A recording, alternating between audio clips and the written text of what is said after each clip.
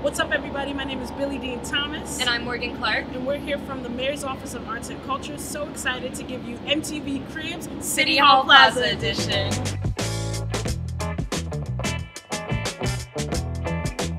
The Civic Pavilion is a multi use space with a built in speaker system, bathrooms, and air conditioning.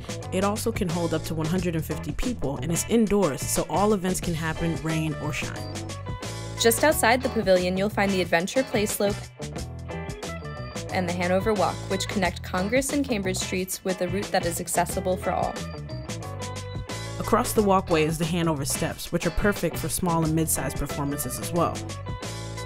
Did you know that the plaza now has six plug and play locations? The North Terrace stretches over the top of the Civic Pavilion. We love this space because it's perfect for small, intimate stages, community gatherings, and it's 100% accessible. The main plaza is a versatile space that can accommodate up to 16,000 people for all different types of events, from the Pride Kickoff to Beats by Girls Festival to Gold Festival. Across the main plaza is the Plaza Circle.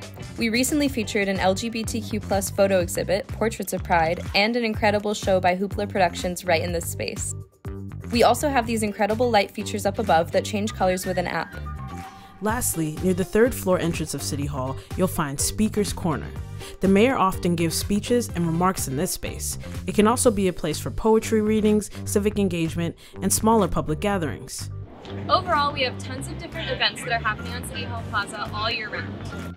We hope to see you out on the plaza, keeping it alive and active. Thank you for coming to our MTV, MTV Cribs City Hall Plaza edition.